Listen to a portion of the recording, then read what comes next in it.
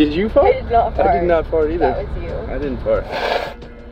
Hi guys, welcome to a new vlog. Hi guys. In this series, we're going to explore the enchanting region of East Java, Indonesia. But first, let's take a look at the map to find out exactly where this is. Just barely below the equator in Southeast Asia, you'll find the island of Java. And fun fact, this is the most populated island in the world with over 140 million people. That's about half the population of the United States, but look at that size difference. Anyway, for this series, we're going to be focusing on the region of East Java. So last night we took a flight from Bali to, where are we now, Pema? We're in Surabaya in East Java. Yeah, so our plan this week is to adventure around East Java. There are apparently some really beautiful places to explore around here. Some volcanoes, some epic waterfalls. So we're really excited to take you around and what do we get? We got a rental car. Yeah. It's a really nice rental car. So we have the convenience of our own vehicle this week so we don't have to rely on public transportation. And our goal with this video is to show you some tips and tricks about how to travel around East Java. Hopefully we'll learn a lot and we can share all the information we learn about this area and how to travel with you. So let's get ready for an epic adventure.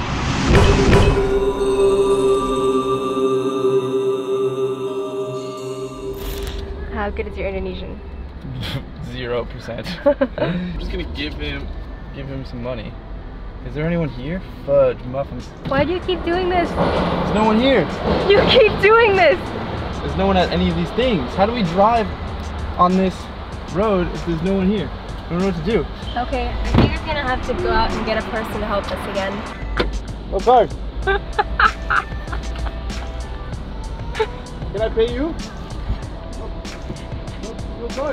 Literally every single toll on this highway. I don't think that all of them have like um, just tickets they give you. I think almost all of these are just card ones. And we do not have a card. Thank you. Thank you. Thank you. What the heck? There's another one. Another toll. At least there's people here. Okay.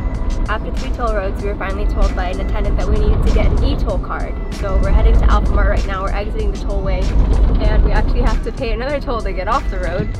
Funny enough. Oh, maybe it's just a ticket here. Hello? Hello? No card. No card. I need to go to uh, a mart. I, Alfamart? I have no card. Can I pay? Cash, cash, cash. Cash? How much? This is the first toll road we've come up to where there's actually attendants in the lane that we actually stopped in. 50,000. No way. Five. Five? And then we go get the car? 20, 20,000. Oh, come on. It's not 20,000. It's not that It's much. not that much. Yeah? Yeah, because I have so much, it's all my money forever. We know for a fact it's not 20,000. It's about 4,000 per toll road we get on. 2000. 2,000. 2,000? Yeah, 2000. 20, 20. 20,000. What the hell? No, I'll it's give you not. 10,000. Itu tadi. 10. I'll give you two fives. Tidak. No, no. Two fives. Here, 10. Tuh, tuh. Oh my goodness. Oh my god, that's Here, horrible. 20. Ah, Okay, okay. thank you. We paid like 10 times how much we should have to drive on these tolls.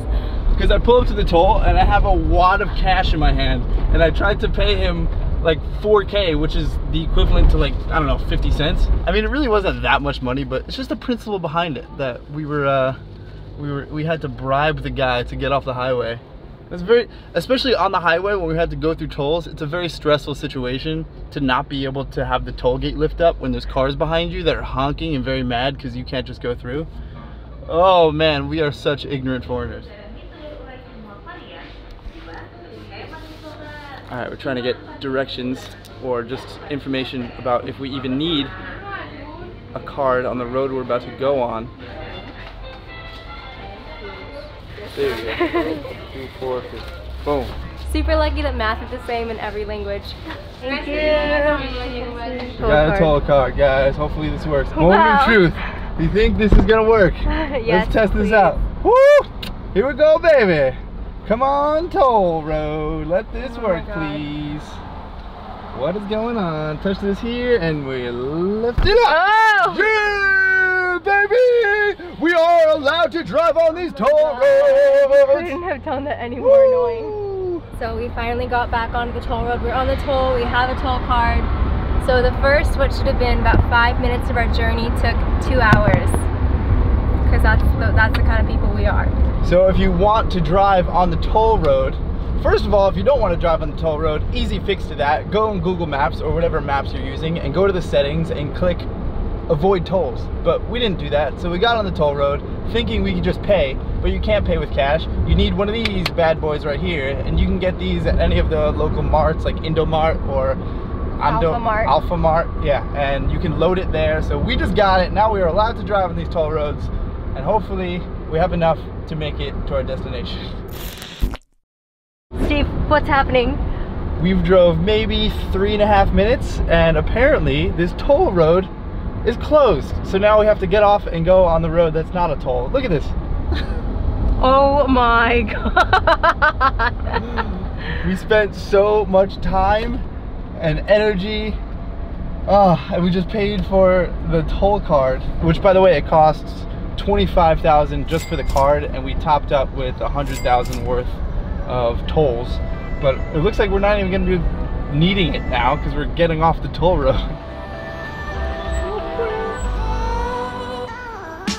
Well, as you can see, our road trip was off to a great start. Funny enough, that was the only toll road we encountered on the entire trip, so we never used the rest of the funds on that card.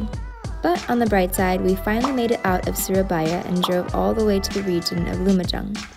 The reason we wanted to come to this area is for a unique waterfall, but we'll show you more of that later. After a very long and stressful drive, we're now relaxing in our tent. I can just smell the mosquito bites. You bring uh, blanket? Blanket? Blanket? No. No. Oh, Do you have a blanket? yeah, I have. Yeah? Can we please have Thank a you. blanket? Maybe a pillow. Pema booked this last minute on the drive up here. We're not gonna be planning much out in advance. We don't have any accommodations set up for this entire week. Probably just gonna either show up in a town or just try to find something on Along the way. along the way. Yeah, so that's what we did today. We found this place. I don't even know what it's called. Dear Traveler Glamping Hub. It's 10 p.m. right now. Time for bed. Yeah, we're gonna wake up nice and early because ooh, you hear those frogs? Is that frog? I think I that's think a that's frog. a frog. I think those are There's multiple frogs. wild animals out here. Anyway, we're gonna wake up before sunrise. We're gonna try to leave here by 5:30. So you want to wake up at five? That's a long time to get ready, Steve. I'm just gonna need to like brush my teeth and put my 5:15. contacts. I want to like be there at 5:30. Of course, we'll be there at 5:30. All right. Anyway, we're So gonna. funny, What's the place called? trust What's the place called we're going to? Tumpak Sewu. Tempuk Sewu. Korban Sewu. Yeah, pretty epic place. So excited to bring you there. But for now, we're gonna go to sleep. So we'll see you in the morning. Good night.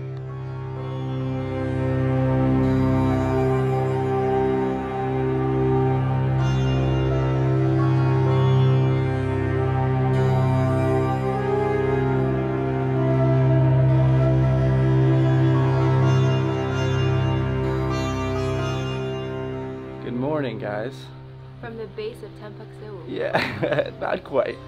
So our plan was to wake up before sunrise, as we mentioned last night, and go to Tumpak Sewu, but we didn't do that.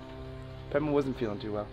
So it's okay. We, uh, we're having breakfast right now, and we're planning on going to some other waterfalls. There are some other epic places around here, so we're gonna do that and just delay our plans a little bit. So we're probably gonna stay here again tonight, and then go try to do the sunrise mission tomorrow morning. Sound good? Mm-hmm. So a very popular fruit here in Indonesia is what they call snake fruit. It's one of my favorite fruits in the world. I tried it last year when I was in Bali for the first time. And it looks really weird. I've never seen them growing before. And apparently right here they have a bunch of snake fruit plants. So we're gonna pick some right off of the plant and eat it right now. That's them right there. Look at that. Cool. Woo! They call it snake fruit because it looks just like snake skin. When you crack it open, this is what's inside. It's kind of hard, but mmm, so delicious. There's usually three pieces inside, and the biggest piece is a pit in it. It's sweet. Not a very strong flavor, but just so good. I can't really compare it to anything. If you come to Indonesia, You definitely gotta find some snake fruit. I mean, they sell it everywhere you can find fruit, you can find it. Hmm, so good. Or you can come to a little snake fruit forest like this and get some for yourself. After munching on some snake fruit, the owner of our guest house mentioned he runs an adventure tour company. So instead of visiting some waterfalls, we decided to go rafting and they brought us to this river in a gorgeous mountainous valley.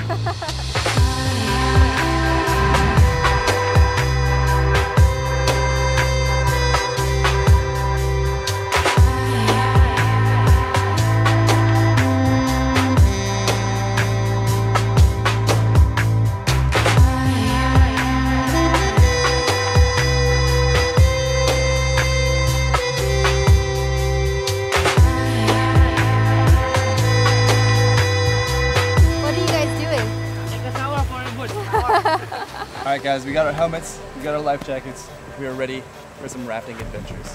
And we're gonna switch over to the GoPro now.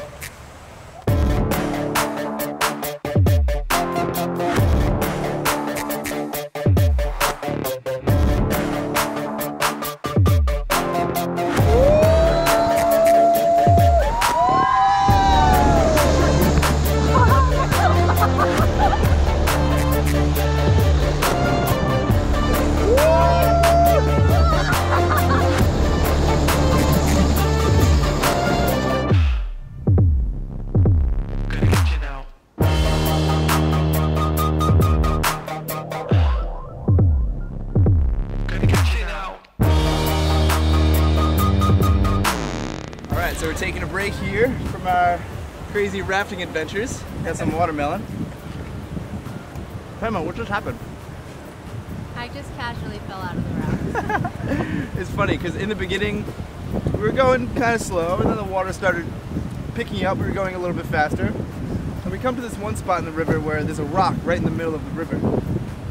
And we actually weren't going that fast. So we come up to the rock. Honestly, I, I wasn't even filming on my GoPro because I didn't even think it was going to be anything exciting.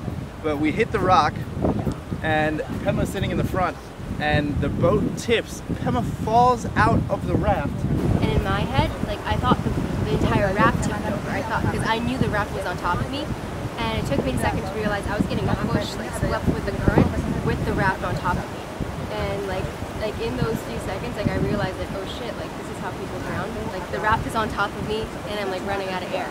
and I'm looking, and maybe five seconds goes by, which is a long time to be in a situation like that, and she didn't come up out of the water yet. So I start freaking out. I jump in the water, and turns out she was under the boat. So I grab her, I pull her up, and we couldn't even get back in the boat. The water's rushing. Honestly, in the moment, it was it felt slow motion, so intense. Gladly, we're all okay, besides some maybe bruises and scrapes on the legs, but adrenaline's still pumping, so we don't feel that yet. In one hand, she had the paddle, and the other hand, she had the GoPro. And then when she comes back up, she's only holding the paddle, which is the thing that floats. It's okay. GoPro's replaceable. You are not. All right, after an exciting raft adventure, we came to a local place to get some noodle soup. So we're gonna enjoy this. We also have some coffee.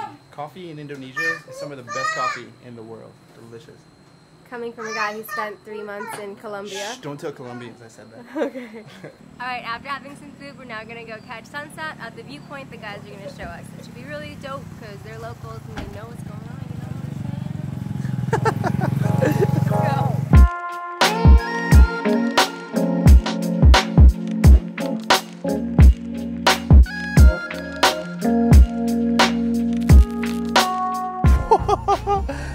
just made it to our sunset viewpoint. Wow, this honestly, it doesn't even look real what I'm looking at right now. This looks like someone painted something majestic in front of me. I have to pee so bad, but when I come back, I'm gonna appreciate the hell out of this. Wow. Look at it! Look at this! Holy!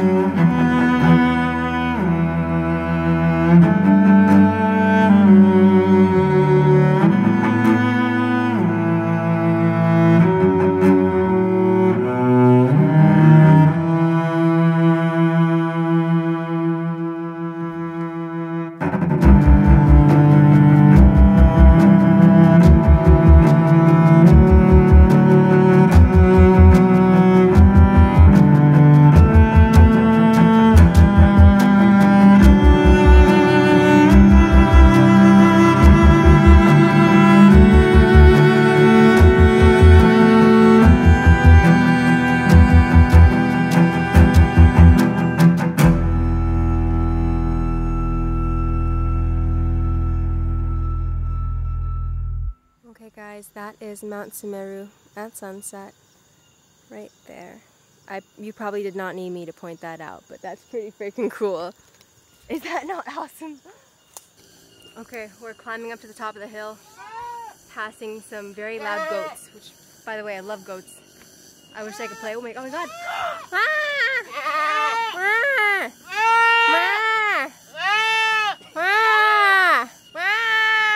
You're a goat. Look at you, goat. Look at this goat just doing his goat thing. What up, goat? Look, more goats. Oh my god, look, he's getting closer to me. You're so cute. Oh my god, your, hair, your ears are so freaky. Look, little goats. Little goats doing little goat things. Ah! We're going deep up this cotton farm. Ouch. Oh, I think somebody lives here. Is this someone's house? Yeah. Yeah. Hello. Mango. Ah, it's a goat house. Ah! What up, goat? More goats. So many goats here. Bye, mountain goats. Bye. We're just gonna sit here, enjoy the rest of this beautiful view, the sunset, and we'll see you back at our homestay. And that is where we were staying last night, but we just upgraded to a private room. Pema, give me a room tour. So this is our beautiful bed. Uh, and over here we have the bathroom with a cool bamboo shower. Check that out. Whoa. And a little toilet. And a toilet. No ceiling, No ceiling, but a fence. but a fence. we have our own tree. Ooh, look at that. Japanese cherry cherry. blossom. And it feels lovely. We're gonna try to get to sleep really early. So we're gonna see you bright and early tomorrow morning for an epic sunrise mission. Pixo part two. Yeah, hopefully we actually make it. We're, we're gonna make it up tomorrow morning. No excuses. We're doing it. Yeah. And I think there's also some more waterfalls. So look forward to a waterfall day tomorrow. Let's do it.